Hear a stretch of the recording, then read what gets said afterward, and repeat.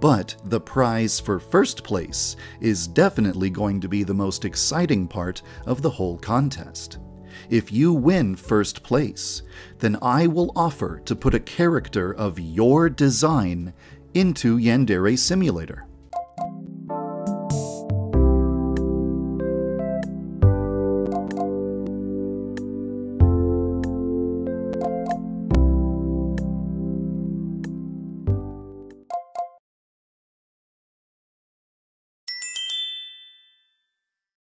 Thank you.